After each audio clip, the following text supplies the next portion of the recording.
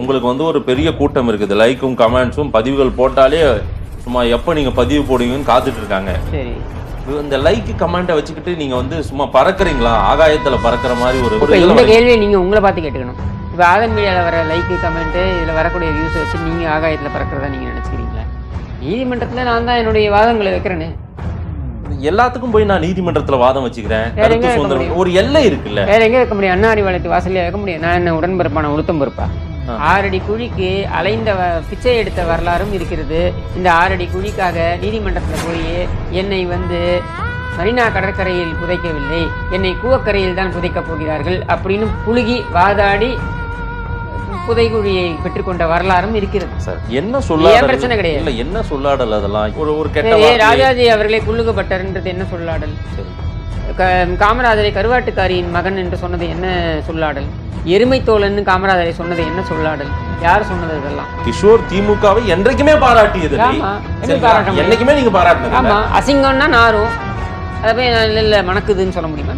நான் என்ன செய்தி வாசிப்பாளரை மவுண்ட் ரோட்ல துரத்திட்டு ஓட்டினேன்னு என்ன ஜெயிலில் போட்டிருக்காங்க இல்லை நான் வந்து ஏதாவது பால் டாயில குடிச்சிட்டு ஏதாவது ஒரு நடிகைக்கு டார்ச்சர் கொடுத்தேன்னு என்ன ஜெயிலில் போட்டிருக்காங்க இதெல்லாம் நிறுத்துங்க இந்த நிகழ்ச்சியில் வரும் உரையாடல்கள் அனைத்தும் நகைச்சுவைக்காக மட்டுமே யார் மனதையும் புண்படுத்தும் நோக்கத்தில் பதிவு செய்யப்பட்டதல்ல. அதையும் மீறி உங்கள் மனது புண்பட்டிருந்தால் I am fundamentally basically sorry நம்ம சேனலோடைய வளர்ச்சிக்கு நீங்கள் கான்ட்ரிபியூஷன் செய்யணும் அப்படின்னு நினச்சிங்கன்னா கீழே டிஸ்கிரிப்ஷனில் ரேசர் பேருனுடைய லிங்க் இருக்குது அதில் போயிட்டு உங்களால் முடிஞ்ச அமௌண்ட்டை நீங்கள் கான்ட்ரிபியூஷனாக நம்ம சேனலுக்கு அடிக்கலாம்.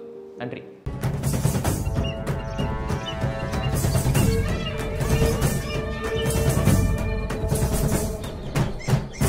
நம்ம ஊர்ல எல்லாம் சொல்லுவாங்க பட்டும் திருந்தலையே சிலர் அப்படின்ற மாதிரி எதுக்கு இந்த மாதிரி அடிக்கடி சிறைக்கு போயிட்டு நீங்க? கேட்க வேண்டியது திமுக கிட்ட தான்.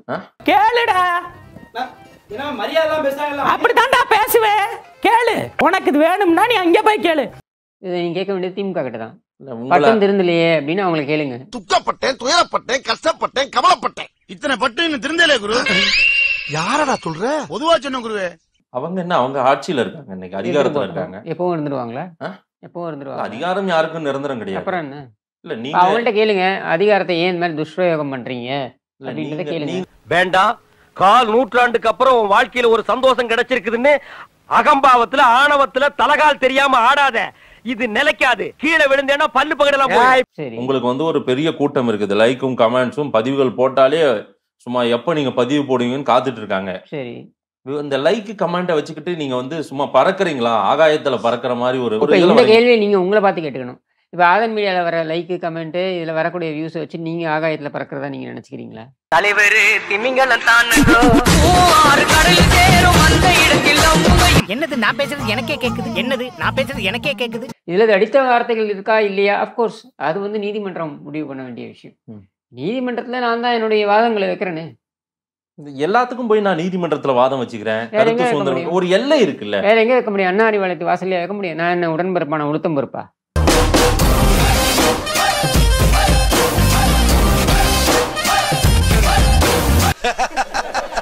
நக்கல்யா அவனுக்கு நீதிமன்றம் தான் நாட்டின் உச்சபட்ச அதிகாரம் நான் இல்லைன்னு சொல்ல. ஆனால் நீதிமன்றத்திற்கும் மேலாக மக்கள் மன்றம்னு ஒண்ணு இருக்கு. எல்லாத்தையும் பார்த்துட்டு இருக்குது. ஒரு எல்லை எல்லாத்துக்கும் ஒரு ஒரு எல்லை இருக்கு. ஒரு வரையறை இருக்கு. எல்லாம் இருந்தா ஆறு வாட்டி திமுக எல்லாம் ஆட்சிக்கே வந்திருக்க முடியாது.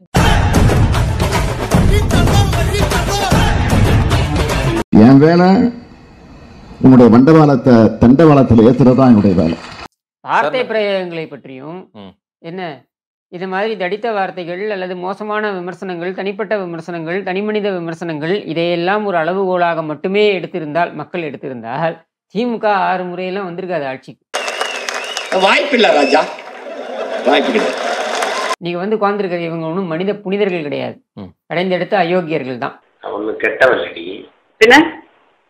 கேடு கெட்டவன். இதை நான் ஆரம்பத்துல இருந்து சொல்லி அது மக்கள் தான் தீர்ப்பு கொடுக்க போறாங்க. ஒவ்வொரு முறை மக்கள் அவங்கள. அங்கீகரிச்சு உட்கார வைக்கிறாங்க. மக்கள் மக்கள் தீர்ப்பு கொடுத்துருக்காங்க. மக்கள் அதையெல்லாம் அளவுகோலாக எடுக்கலன்ற. நீங்க மக்கள் மன்றம்னு சொன்னீங்க இல்லையா? அதுக்கு நான் பதில் சொல்றேன். That மக்கள் வந்து அதையெல்லாம் ஒரு பொருட்டாக எடுத்து கொள்ள இல்லைன்ற நான். இந்த ஏரியாவுல கருப்பா குட்டையா கனமா சுருட்ட முடி வச்சிருப்பாரு. அவரை தெரியுமா? ஆபீஸ் போறதுக்கு டைம் ஆயி போச்சு நீங்க வேற ஆள்கிட்ட கிட்ட தெரிஞ்சுக்க இல்ல மக்கள் பொருட்டா எடுத்திருக்காங்களா எடுக்கலையான்றது ரிசல்ட்ல தெரிய போகுது. தூக்கி பா- பாருன்னு சொன்னவன எல்லாம் உச்ச பதவியில வைப்பாங்களா மக்கள்? இதையெல்லாம் பொருட்டா எடுத்திருந்தா? அதுக்கு என்ன பாவாடை பிடிச்சி இழுத்துட்டு ஆளுங்க? ஒண்ணு கிடக்க ஒரு நாய் பிடிச்சா என்ன தொகுதி இந்த மாதிரி. பேசியவர்கள்லாம் ஆறடி குழிக்கு அலைந்த வ- பிச்சை எடுத்த வரலாறும் இருக்கிறது. கள்ளக்கூடி கொண்ட கருணாநிதி வாழ்கவே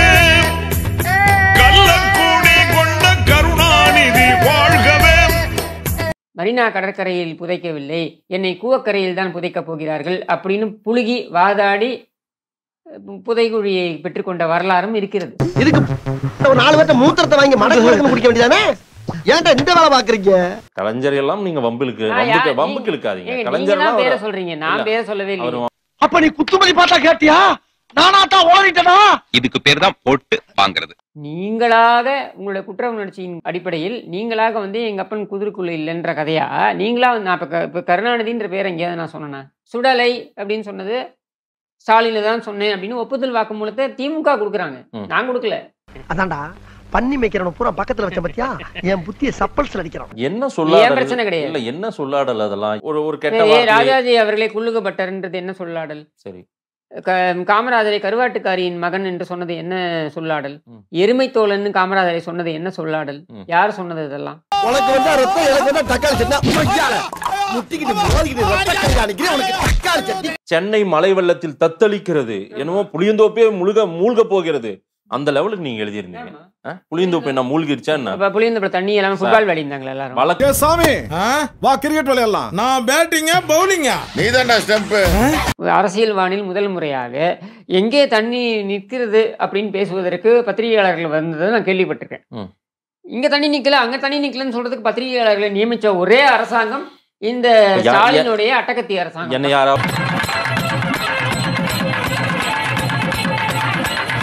என்ன வார்த்தை அது? நீங்க? பயன்படுத்த ஒரு முதலமைச்சரை? அப்படிதான் பயன்படுத்துவீங்களா? அவரை அவரை தான் சொல்ல முடியாத வார்த்தை. ஏங்க அவரை தான் பயன்படுத்தினா நீங்க எப்படி இந்த முடிவுக்கு வரீங்க? ஊரே அத மொத்த கமெண்ட்ஸ்லயும் எழுதிருக்காங்க அப்ப- நீங்க முதல்வரை தான் சொல்றீங்கன்னு அப்ப எழுதிருக்காங்க ஊரே அசியூம் பண்ணிக்கிறதுக்கு நான் பொறுப்பேற்றுக்க முடியுமா? அப்ப ஊரே கொண்டு வந்து கூண்டில் நிறுத்துங்க.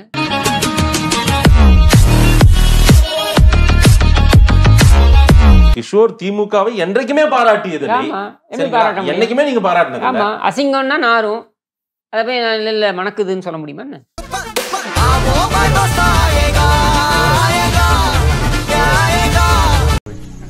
வெரி குட் நல்ல உடம்பு ஐயா. ஒன்றும் பிரச்சனை இல்லைங்கய்யா ஆமா சார்.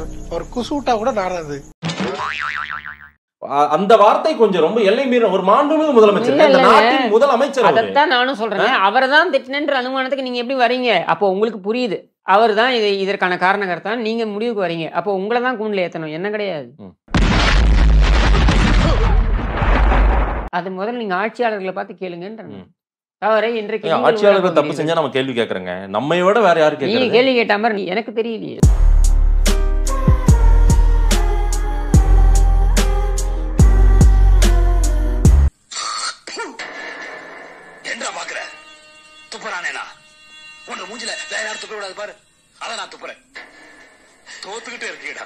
சொல்றேன். ஒரு தப்பை பண்ணிட்டு கூட நீங்க போய் தலைமறைவாகுறீங்க. யார் தலைமை பாண்டிச்சேரியில எதுக்கு நீங்க போய் பாரோ இல்ல நீங்க வந்து ரூம் பாண்டிச்சேரி போட்டு தங்கிருந்தீங்க காட்டுல இருக்கா?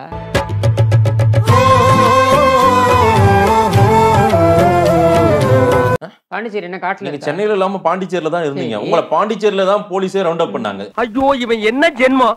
சரியான சாக்கடையா இருப்பான் போல் இருக்கே. சரியா? ஏன் நான் உங்க வரலாறு அப்படி. கருணாநிதி கைது செய்யப்பட்டு அந்த ஐயோ கொள்றாங்களே நடந்தது இல்ல.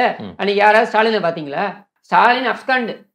எங்கடா இந்த ஏரியால தான் இங்க இருக்கான் அவன் மட்டும் என் கல்ல மாட்டல வெட்டாம விட மாட்டேன்.